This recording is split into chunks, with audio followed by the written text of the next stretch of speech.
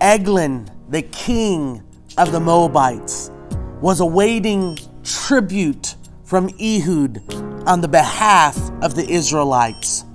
For 18 years, the Israelites had been dominated by the Moabites. And now Ehud was presenting a tribute to Eglon while he sit in his summer parlor. Eglon had become very comfortable in his position. Eglon had become very comfortable in his summer parlor. Eglon had quite a bit to eat, and the Bible tells us that Eglon grew to become very large. In fact, the Bible says he became fat. Ehud, recognizing this opportunity, as he presented the tribute, he then told those who carried the tribute to leave so that he can carry out a secret errand with Eglon, the king of the Moabites. Once those who carried the tribute left, Ehud once again told Eglon, This is a secret.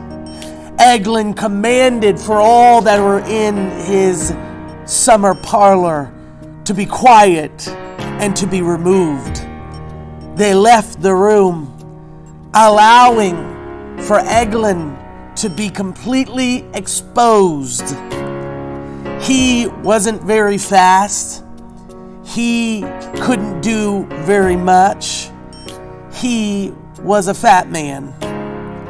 Ehud slowly made his way toward Eglon and very swiftly pulled a dagger from his pocket. There he stuck that dagger into Eglon's belly. It went in so far and so deep. The Bible says you couldn't see the blade, nor could you see the haft or the bottom of the knife. It had been buried inside of the fat of Eglon. Eglon desperately tried to remove it from his belly, but because he was so large, he could not, in fact, find where this pain was in his belly. He sat there, I'm sure, in such pain and anguish at that point, not knowing what to do all of that food, all of the convenience in his life, all of the apathy had come down to this moment where he was too weak and too large that he could not protect himself nor remove the dagger from his belly. This was sadly a lesson learned from for Eglon. this was the last lesson that he learned. And that is if you allow yourself to become too apathetic and allow yourself to be too large, then you will not be able to escape the hand of the enemy. There's a lesson learned here.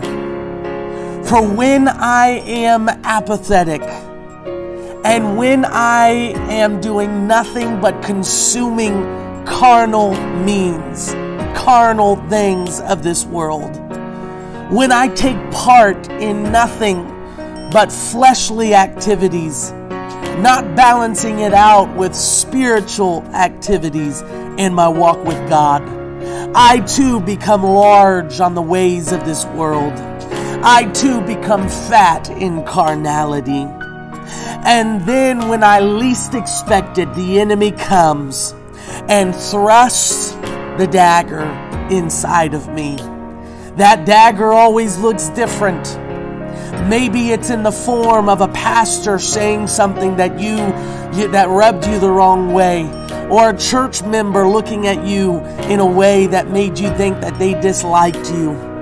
Whatever the form of that dagger is, the fact is is it's hidden you can't see the true issue. You can't see what's behind the dagger even how to fix the problem because you're too fat in carnality and you've partaken too much in sin and carnal activity. Lesson learned for Eglon, and let it be a lesson to us